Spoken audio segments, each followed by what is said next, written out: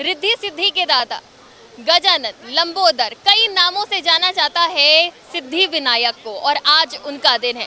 गणेश चतुर्थी के दिन सभी लोग आस्था के भाव से गणपति को अपने घरों में या फिर पूरे समाज के साथ मिलकर पंडालों में लाए हैं। उनका पूरे विधि विधान के साथ पूजन अर्चन किया जाएगा, और आज हम मौजूद हैं पेपर मिल्क कॉलोनी में, जहाँ पे आप देख सकते हैं हमारे पीछे बप्पा का कितना विशाल पंडाल बनाया गया है, और इस बार की जो थीम है वो भी काफ़ी खास है, क्योंकि इस बार की थीम केदारनाथ के ऊपर बेस्ड है। आप देख सकते हैं कि जो ये पूरा पंडाल बना है हु बहू केदारनाथ की कॉपी बनाया गया है। और इसके अगर अंदर बात करें भगवान की प्रतिमा की तो विशाल काय चतुर्भुज हाथ के साथ बप्पा की विशाल प्रतिमा है।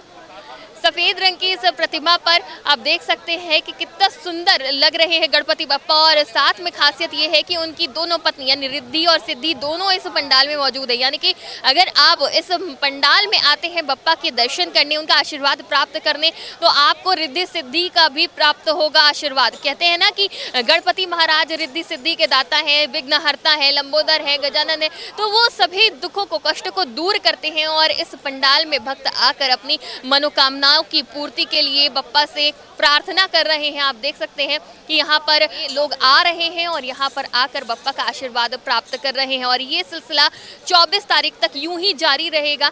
24 तारीख को बप्पा का विसर्जन किया जाएगा पूरे विधि विधान के साथ और तब तक सांस्कृतिक कार्यक्रम आपको देखने को मिलेंगे। जी हाँ वैसे ही सांस्कृतिक कार्यक्रम आपको देखने को मिलेंगे, जैसे कि आज देखने को मिले हैं। तमाम एकेडमी के बच्चे आएँगे, अपनी प्रस्तुति देंगे और जो भक्त यहाँ पे बप्पा का आशीर्वाद लेने आएँगे, उनको प्रसन्न करके यहाँ से भेजेंगे और जो हमारे धर्म से जुड़ी हुई तमाम चीज़ें हैं, उनसे भी रूबरू कराएँगे।